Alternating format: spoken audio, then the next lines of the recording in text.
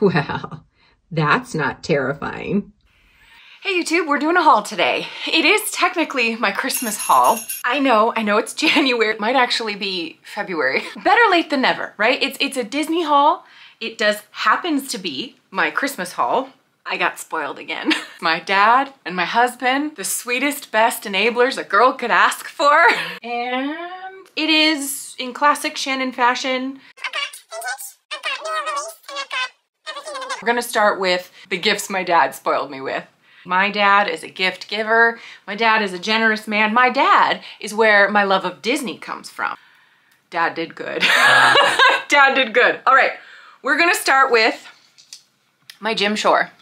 I'm gonna get this one out of the way because it's gonna hurt. It hurts me. It's gonna hurt you.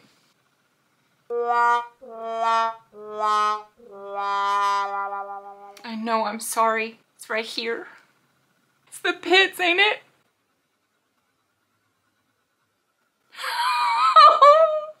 I'm staying positive actually because I think it's quite a clean break. I haven't Googled this yet. Do you have a recommendation on what to use on these resin figures for glue? Leave me a comment if you know how to help me rescue this piece. It's Donald and Daisy with mistletoe. I don't have to cry. I'm gonna fix it and I'm just adding it to my collection.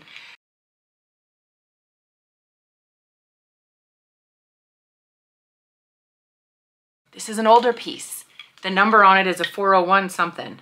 Mistletoe moment. Yeah, 401, blah, blah, blah. There's nothing like the old Jim Shore. The details in the faces, it's just the intricacy. Like, there is not an angle where a detail was skipped. That is why I like these older pieces. So dad, we're gonna rescue it. It's gonna be okay. Oh, cute, so cute. How many times do I say I'm not a Mickey girl? I'm a Donald girl. And Daisy. Yes, sass queen. Okay, gotta put it down because I can't believe how long I've been holding up a broken Jim Shore. Oh, it hurts. It hurts. I know. It hurts. Staying positive. It's gonna, we're gonna be okay. Gift number one from dad. Gift number two. Brace yourself for the vintage. What do we have here? It is uh, a nightlight. And yes, it works. I plugged it in right before the video. This thing is ugly. I'll just say it. There are two kinds of ugly when it comes to vintage. There's, oh my God, that is hideous. I love it. And then there's, oh my God, that's hideous. Let's pretend that never happened. this is hideous. I love it. I'm keeping it because whoop, this is what I want in my Disney museum. So I did a quick search before the video, late 70s, 80s. It does say um, Walt Disney Productions. It's so cute, so while simultaneously being so hideous. I love it. Now, we're gonna move on to the next item dad got me. And this falls into that hideous category that I'm like, no, no. Don't be mad at me, dad. oh, it's so bad. Oh my God. These are from 1997. Beauty and the Beast had a Beauty and the Beast Enchanted Christmas. Can you see that? Enchanted Christmas. I am still actually on the fence about keeping these or not. I don't, I don't like looking at them. so not hideous, I love it. Hideous, especially this, like this picture of Belle and Beast. That's not cute to me.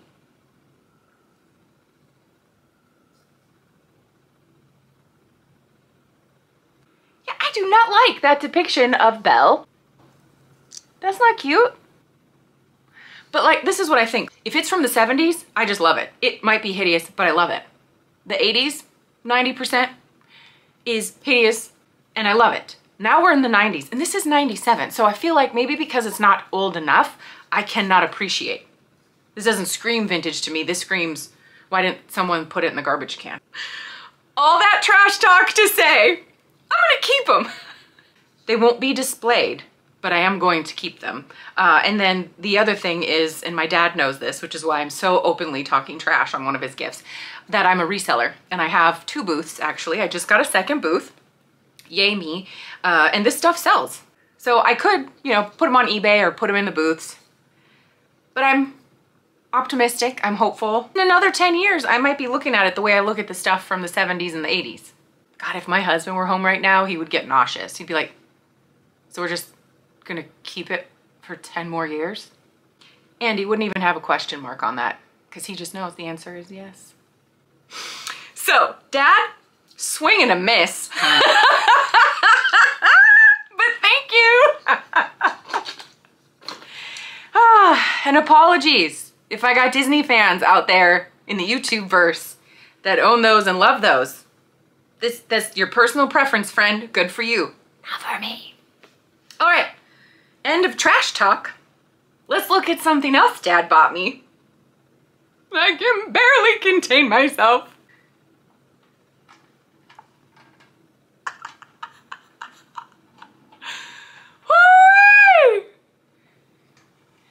See, this is why he goes out and shops for me. Like last year, I lost my marbles over a old school Toy Story Woody and Jessie doll. And they're not even the original Thinkway. They were just in great condition. I think they're from Toy Story 2.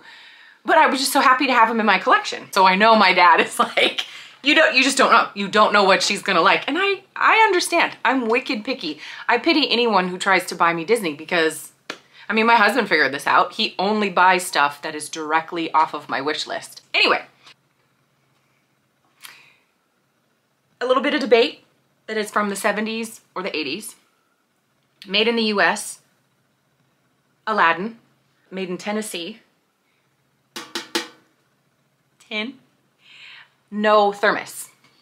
I actually came across this lunchbox this summer when my husband and I went to the coast for my birthday. I have a haul for that too.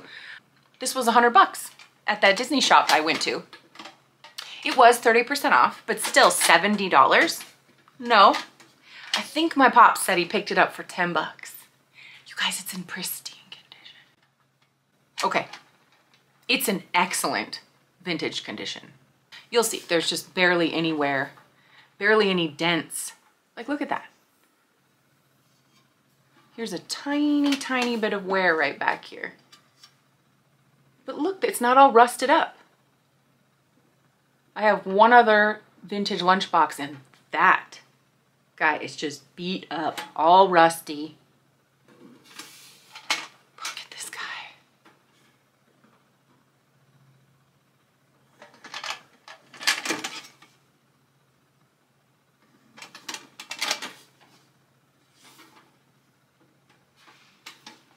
Oh, did I show you the inside? Look at that. That's what I meant when I, she looks amazing. That's why I said pristine. I was like, oh, look at that. Dad. Dad killed it, didn't he? Go look this up on eBay. Anywhere from 50 to $150. In good condition, upwards of that. There have a couple on there right now that are in great condition with the thermos that are floating around $500. It doesn't bother me at all that I don't have a thermos because now I've got a really cool collection of, I've got two different lunch boxes and I have one thermos that's um, Ludwig von Drake. So um, I love this. I love the way my collection is shaping up. All right, so what did dad do next? All right, guys, weigh in. Are they from the 80s? Maybe the 90s, I'm not sure. I don't think they're that old because of this tag, which says made in China. So these I think are a good example of, I think they're hideous, but it's the kind of hideous I want in my collection. Sorry guys, ran out of memory. You know how it is. The hideous, but I love them stockings. Yeah, they're just that cheap, flimsy material. Yeah, dad swung and this one hits. So good job, dad. What next, what next? Oh, the last two items I got from dad. These hit. Books. Vintage books. late 70s. This one might even be the late 60s. The copyright says 1968 and it has the record in it.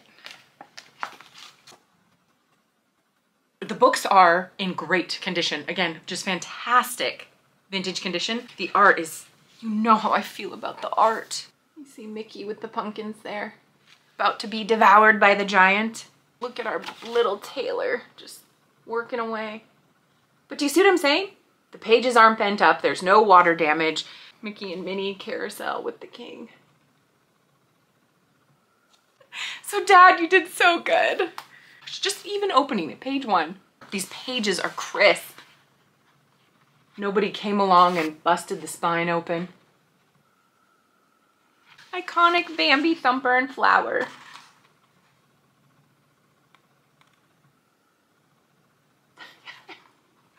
Dad, this is perfect. I love these old heart. This is my favorite book. Walt Disney's Wonderful World of Reading. Case in point, how many do I have right here? Cinderella, DuckTales, Dalmatians. My most recent find. This pile is a different haul altogether. So yeah. Thanks, Dad. Okay, so does that sum up what I got from Pop? Yes. We have two more items and they're both for my husband. He did exceptional this year because I got his Christmas presents for me, for him. And he got a new job and he's so busy, so busy. So yes, I took on the burden of getting my own Christmas presents. Upside, he killed it. this shape box makes me very happy. Are you ready?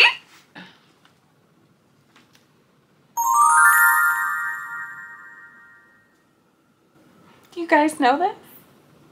Do you recognize the characters? Disney Short 2012, Paperman is what it's called.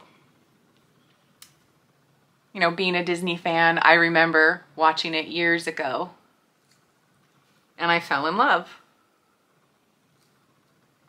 It is on canvas. It's 20 inches by 10 inches. But yeah, I discovered this, let's see, 2019. That's how long she's been on my wish list. I've been going to Shop Disney, making sure it's still there, making sure it's still there. I did ask for this last year and didn't get it. You can't complain when you're as spoiled as I am, but did you guys watch this short? I made Seth watch it uh, so he could be a little bit more involved with the gift he got me for Christmas. And my husband is a romantic, so he loved it.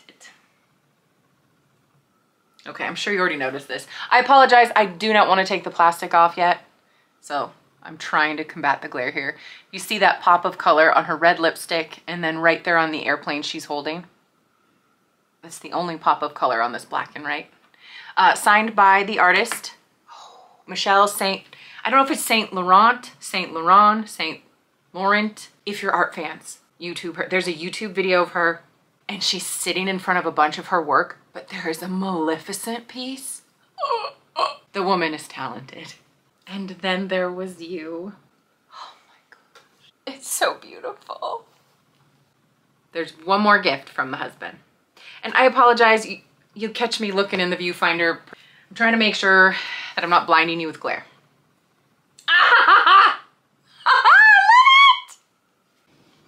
All right, guys, if I've thrown you for a loop in the past for collecting weird Disney stuff, this one will knock your socks off. I'm pretty confident you've never seen this before. It's one of those weird Shannon acquisitions. I love it more and more, more and more. Are you ready?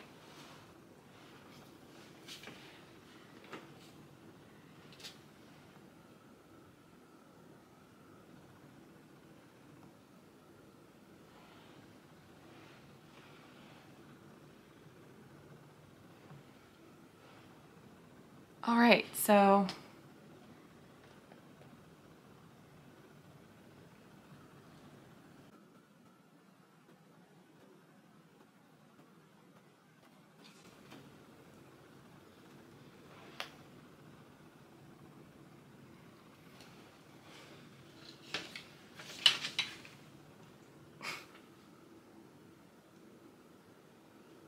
Who's gonna say it? Mickey Mouse. Let's be honest, that's not really Mickey Mouse. and I love it. Go figure. That tracks. I feel like that tracks.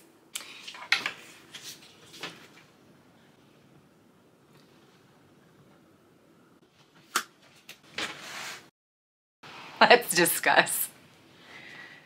I came across this beauty this summer. One of my favorite antique shops. So of course I go up to it. What is going on with Mickey? Like that's not, right? It's, it's interpretation and adaptation, a reimagining. But like I didn't know how I felt about it. So I go home, I research it. I fell in love with the artist. If you guys like off the wall, something a little different, not run of the mill, go Google Howard Finster. I'm sure there are people who think uh, this dude lost his marbles. I'm sure some people think he's a nut. And who cares? Very well, he could have been. I found him very endearing and absolutely lovable. He has since passed away. He was also a Baptist minister, Baptist pastor. He felt called to spread the word, spread the gospel through his art. Now, I love the Lord, so that doesn't offend me one bit. I also don't care that Disney is like beyond secular. Uh, so I just, it's so weird and unique. I'm like, are you ever gonna see anything remotely religious married with anything Disney? I don't need to see that, but it's unique. It's that he might have done that print back in 1988. He has a ton of art out there. He did the album cover for REM. I don't know which album. Uh, and also the Talking Heads. How dope is that? Album cover. I have since determined I don't think there's a ton of value. I don't have an original. Mine is a poster, but it is so stinking unique that I, once I watched the interviews of Howard Finster, I was like, I have to go back out there and get this piece. But I waited. Christmas rolled around and my husband, I just knew the poor guy just wasn't gonna have time. I took on the burden of getting myself my Christmas gifts. I was like, do you want to get me this piece of art? And he's like, do you want to get you that piece of art? Yes, I do. I love it. So weird. So weird. I don't anticipate it turning into highly sought after original Picasso or anything. I don't care. I love it. So my Christmas was amazing. If this is your first time stopping by my channel, you got a good taste of what happens in this neck of YouTube. I am a Disney collector. Wonderland Shannonigans. This is my Wonderland. It is a, a work in progress. It's my museum, my Disney museum. And in that museum, you're gonna find new merch, you're gonna find old merch, you're gonna find books, Jim Shore, art, ornaments, this random nightlight. I'm all over. So if the all over the place randomness doesn't scare you, stick around. Thank you so much for watching. Please feel free to leave me a comment. Let me know if you have a favorite. I would love to know if you have heard of Howard Finster, if you have any Paperman merch, uh, and if you've ever had to repair a Jim Shore. All right, guys, thank you so much for watching, and I'll see you in the next one actually. Let's put her back in the box where she can stay safe. Ah! Ah!